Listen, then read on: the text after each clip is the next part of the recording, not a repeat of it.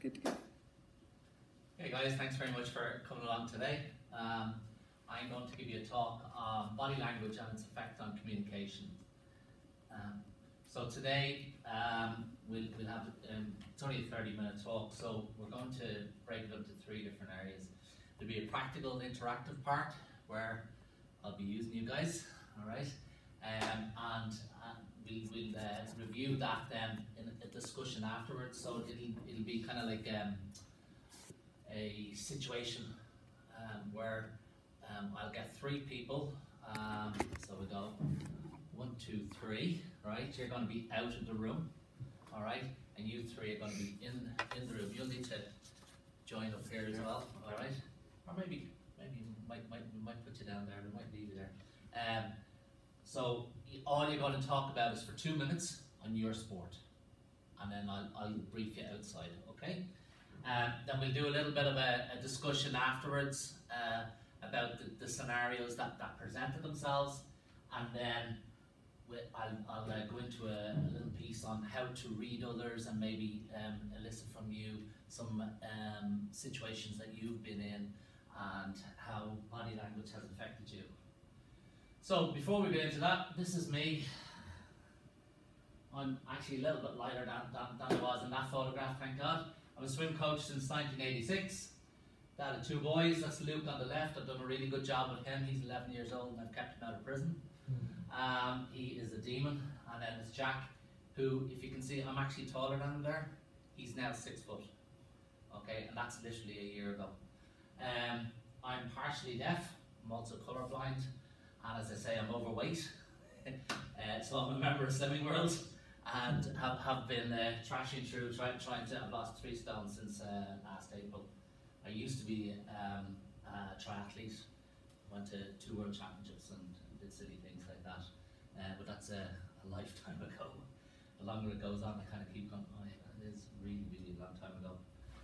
Um, so just a little bit of a, um, a reason why body language is important. So I, I found it this um, paper, or actually it was a book by uh, Hedwig Lewis from 2012.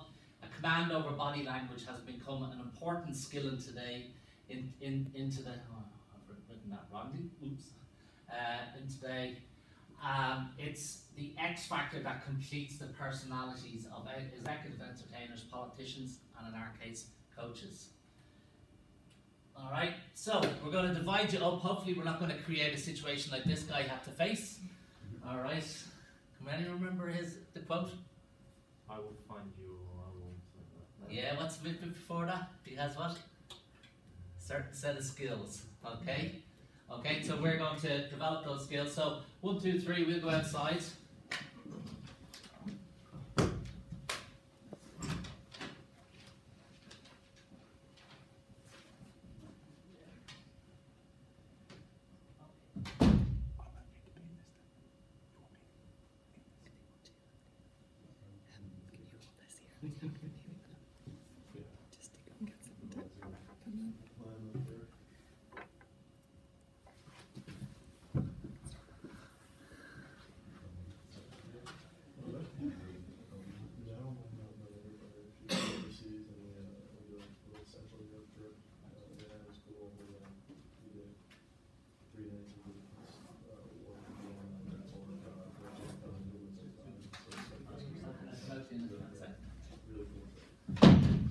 Okay, so this is the bit you missed this one there. Okay, so um, crossed arms, really disinterested.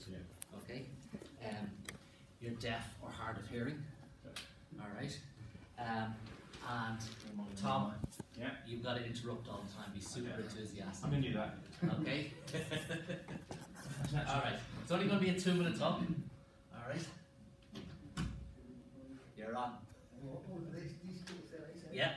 Don't want that to find out about these guys. Yeah.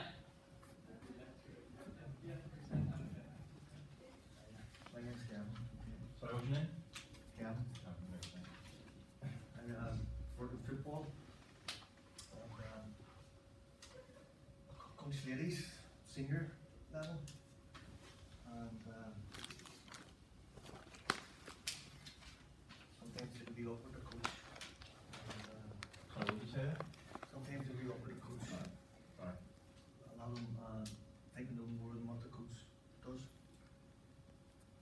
Uh, no, well, You have another another minute and a half, go on. How old is the group that you coach? um, good correction, um, ranges in age, um, I think. Um, From six to Sorry, six, how old? thirty-five, so we'll have all the, at the So did you weekends, say thirty-five or? thirty-five, aye. So at the weekends, I, um, take the senior people on a Saturday, and then What about the juniors, what about them on? I, I on a Sunday morning, uh, I take them eleven o'clock to half twelve, half twelve, and then they um go home after that, and then I don't see them again until next Saturday. Um, the the senior ladies have internationals in their team. Um, I see them. Well, only internationals. Sorry, It's a- all full of internationals. Northern Ireland internationals, the Irish, like um. How many have you got, sorry? Uh, I'm trying to think.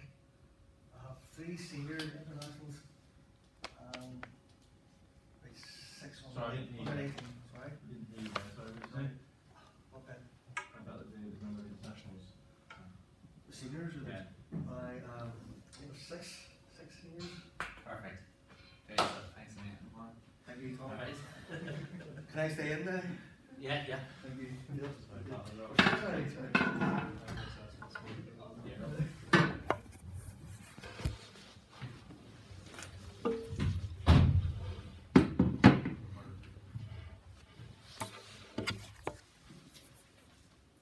So um, my uh, sport is basketball.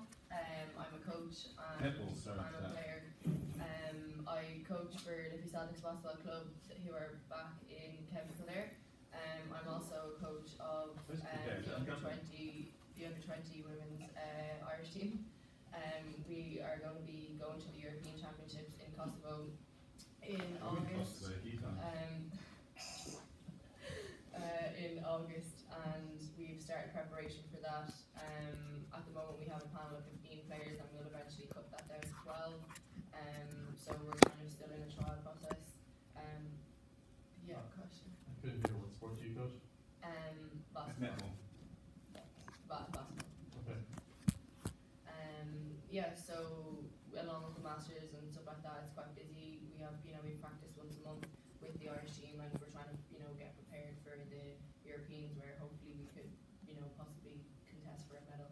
As the group of girls that we have at the moment, they um, they got a silver medal at the under eighteen European Championships. So.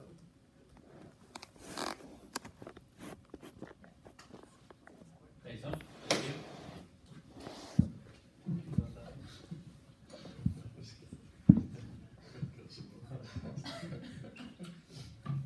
I think Tom, you're enjoying this a lot. If you gave me the right road. Thanks.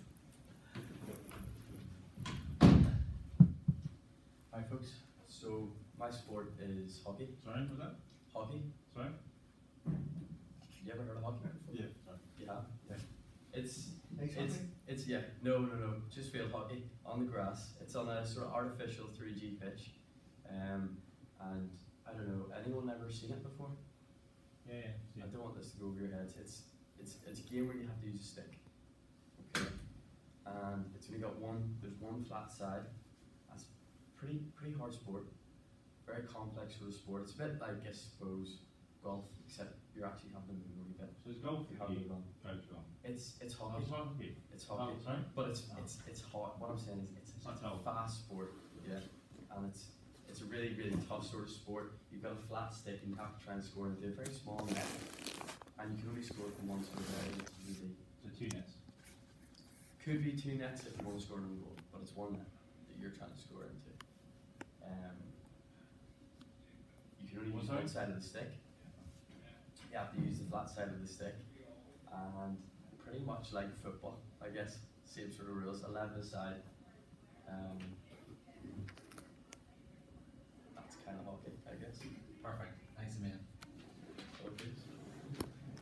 Okay, guys, so we, if you hadn't figured out, all right, we had first person.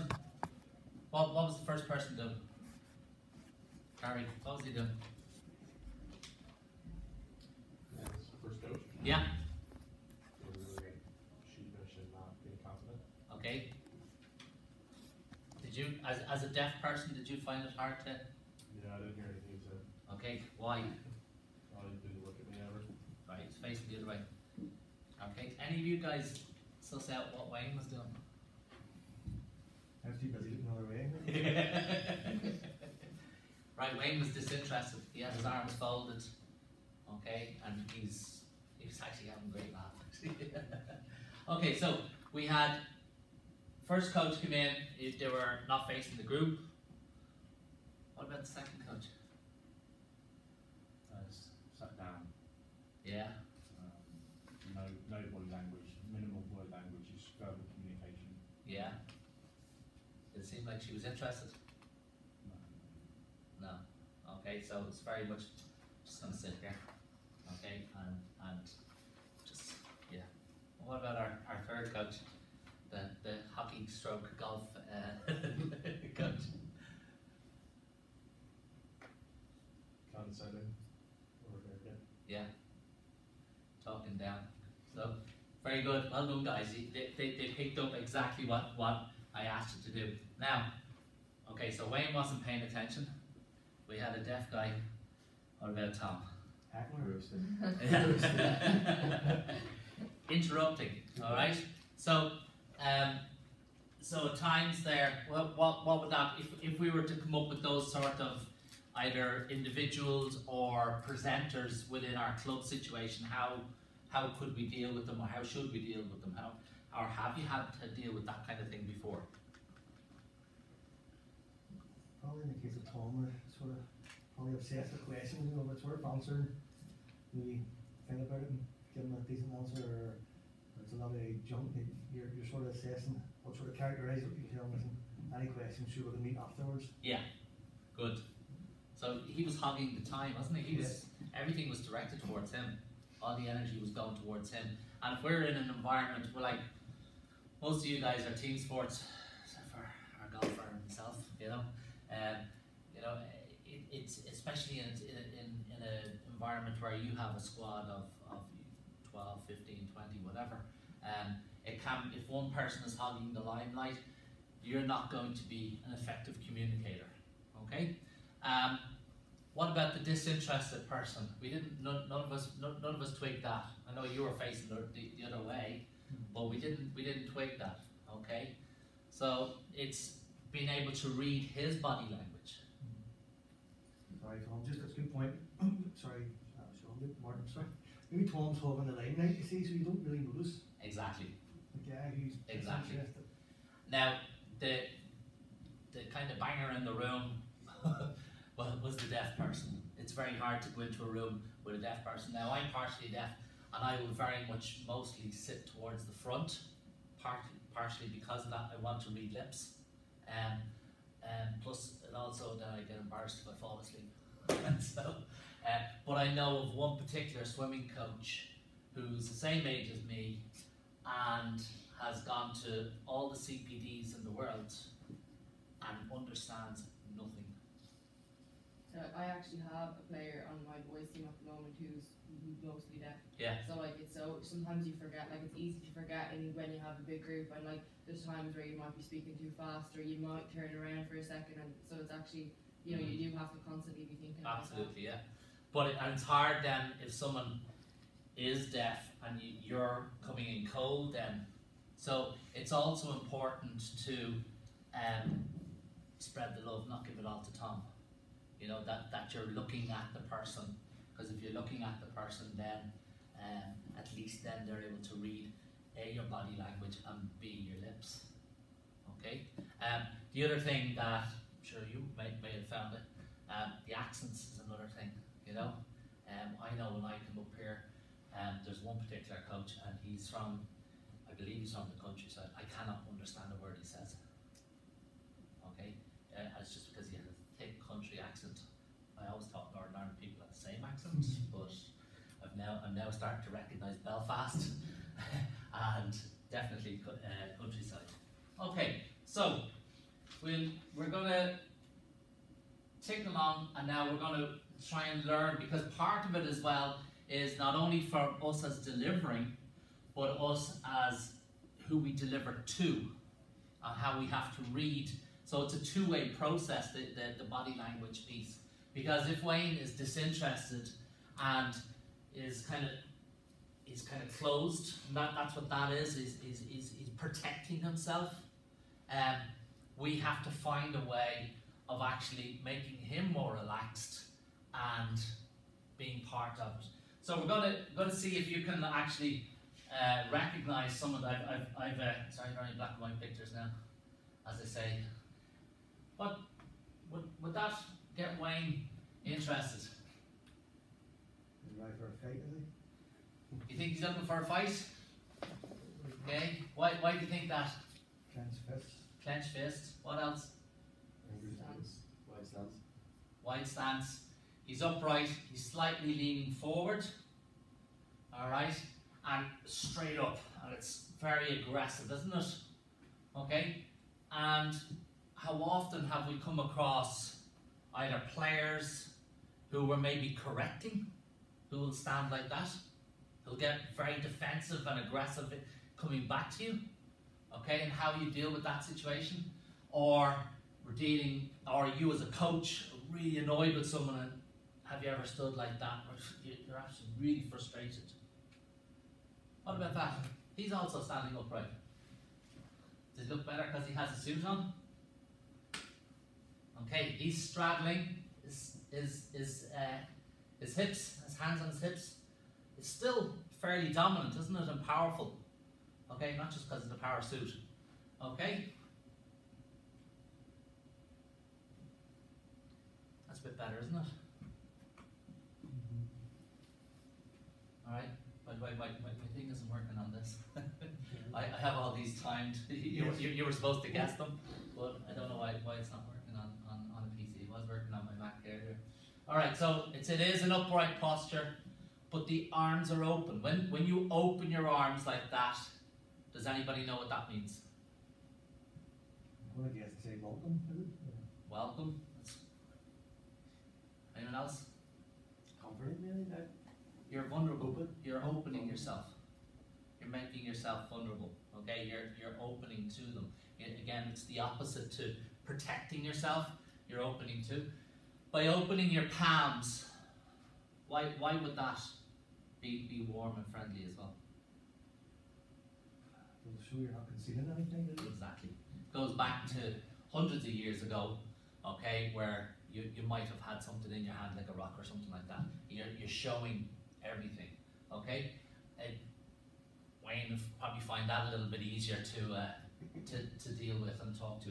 And as well as that, the smile, okay, the warm, friendly smile, okay, which doesn't cost us anything but um, does does uh, does mean a hell of a lot. Okay, so the palms are open, but now they're down. When when might we use that? Somebody's being overly aggressive. Calm Yeah. Okay, yeah, exactly. Or what else? Have you ever have you ever used it?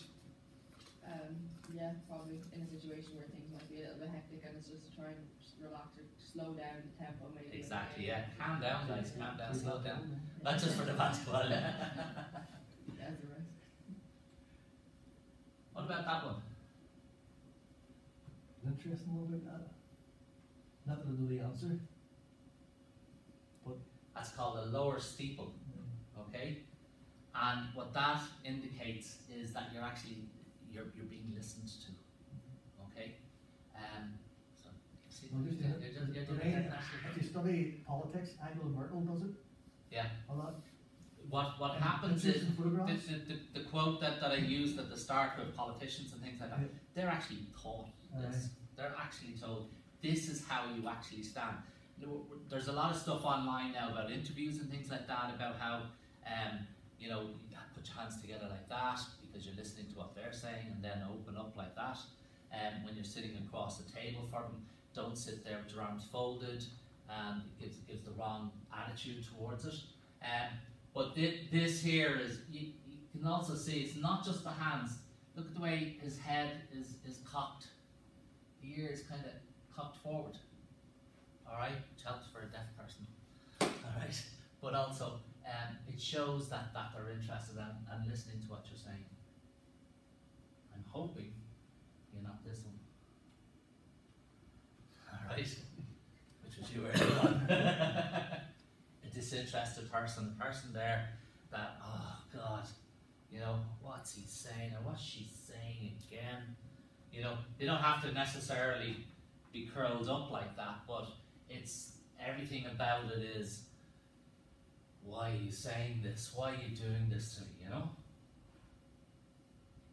So before we um, before we uh, finish up, all right. Um, I just want to be us, us to be aware. Like in my situation, I coach in a swimming pool, all right, which is vastly different to a gym, a basketball hall. Okay, in that if you shout, I would imagine it's very very loud. Yeah, if you shout on the side of a pitch, it gets lost. I shout on the side of the pitch, it gets lost. I remember doing my my level four coaches, and um, part of it was was that um, every two days you had um, like almost like a Viva Voce where, where it's a, an interactive thing and they give you recommendations at the end of it. Um, the senior tutor on it said, you know what, uh, one of the things I have to be aware of is that um, I come across very aggressive. What I didn't explain to him was, was I'm partially deaf. So my, my level is actually higher than most. And what he actually did was he went and spoke to the kids that I was coaching. And they all thought, no, no, he's actually okay, he's having a great crack with us. And he was like, well, I'm down the far end. It seems like he's very, very loud and very aggressive. Okay, so we have to, two different, lots of people can take it up in a different way. Not only are, I always say, we're in the entertainment business. Sport is in the entertainment business. Okay, we, and especially in Lisburn, okay, in, in the swimming pool, it's like a fishbowl. Okay, we we are, are on the deck. We're coaching to the kids, but we're also coaching to the parents on, on, on the, the bank as well. Okay, and so one of the other so di- different different situations have different things. Hockey, you'd say, do you have indoor pitches at all? I do coach hockey, coach football. Exactly, So, right.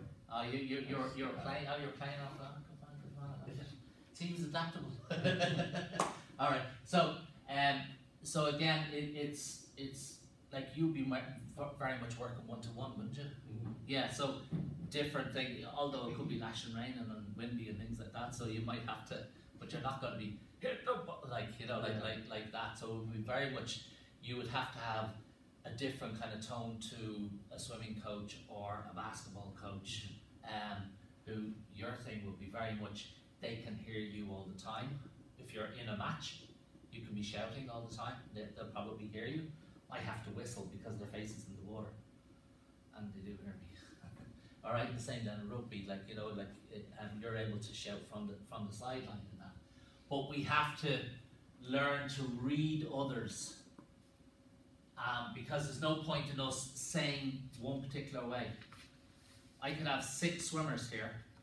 I actually have six different methods of communication because it's very much what will work for you won't work for you. What works for you, Tom, definitely won't work for you. You know. Um, so one of the things I'm actually trying to bring in in Lisburn is actually to talk less to find a way to get the message across by saying little, as little as possible. Because what I found was they were just going blah, blah, blah, ten million things, and then I could see it from the kids across the pool. I could see it. They've totally switched off. Okay, so we speak a little bit less, and actually can, can convey it in a, in a different way. Is there anything you guys want to ask about? any of those particular things or Sorry. no? Okay. Actually, a good YouTube video, I it's Amy Rudd, is it? Your body language will send you the link to it, with all these power poses and all, and I, there was one that I was, I, again, I'm not very technically, I, I'll, I'll put my hands up. No, just further reading. No, I was gonna put in a video, but I actually didn't know how to do it. Um, and that was, was one, I think, master of body language. Can anyone think about it? Well, going very controversial here, Hitler. Not even better than Hitler, I think, anyway. My, Trump, my own maybe? personal thing. No, Mr. Bean. Mr. Bean. Oh. Yeah. Mr. Bean only spoke a couple of times in, in, in his, I think he spoke in his movies, but never spoke in his TV. But actually, in, in a in a in an era where speech was part of it, I know there was um, Charlie Chaplin and, and uh, Harold Bean and people like that, like you know, um, who were brilliant, but they were in the silent era. Well, I think uh, I was trying to get him in, and, and the, the bit where he's uh, he, he's actually in a restaurant and he, he gets a um, he just goes, goes along the flow and he gets like shrimp and device and all sorts of things. But it's his body language of what, what, what he actually Guys, thanks a million. Appreciate that.